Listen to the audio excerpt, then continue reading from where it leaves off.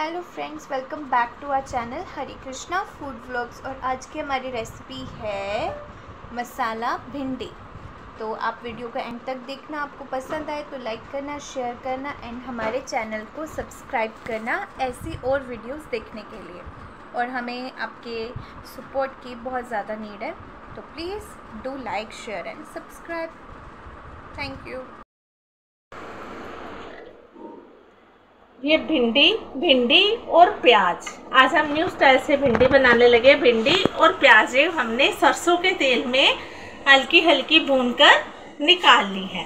अब हम इसका तड़का तैयार करेंगे।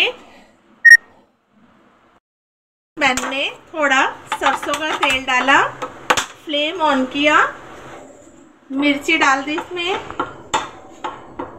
सरसों का तेल भी गर्म हो जाएगा और मिर्ची भी डाल दी साथ ही जीरा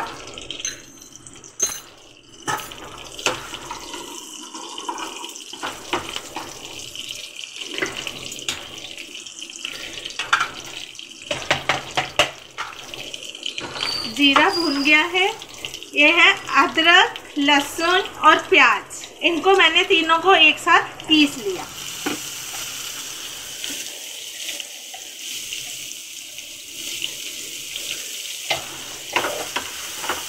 अब इसको हम तीन से चार मिनट तक इसको भूनेंगे। प्याज, अदरक, लहसुन भून गए हैं। अब इसके अंदर लाल मिर्ची दो छोटे चम्मच लाल मिर्च, हल्दी, धनिया पाउडर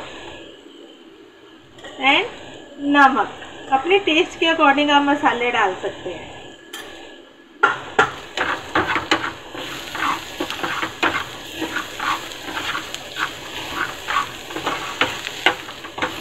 मसाले भून गए हैं। इसके अंदर हम ये डालेंगे टमाटर। टमाटर, दो बड़े टमाटर हैं जिसे हमने ग्राइंड कर लिया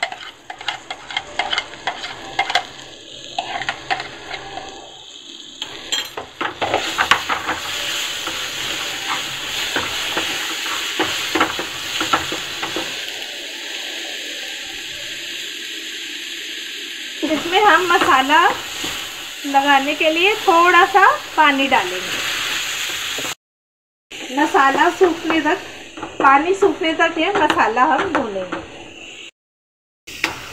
मसाला भूनकर तैयार हो गया। अब जो हमने भिंडी और बड़े बड़े प्याज मोटे मोटे प्याज काट के शैलो फ्राई किया था, हल्का सा भूना था, वो हम इसमें डाल दें।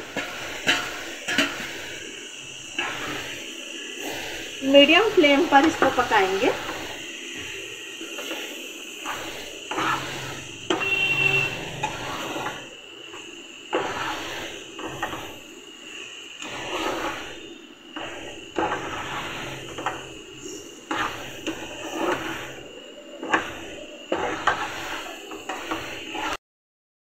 भिंडी तैयार है। अब इसके अंदर हम थोड़ी सी कसूरी मेथी ऐड कर देंगे।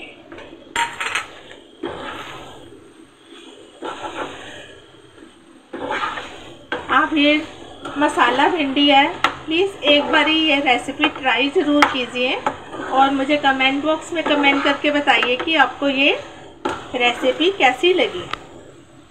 अगर आप कुछ और भी ऐड करवाना चाहते हैं तो आप हमें कमेंट बॉक्स में ये भी लिख कर बता सकते हैं। मसाला भिंडी बनकर तैयार है। प्लीज़ लाइक एंड शेयर ज़रूर कीजिए। Thank you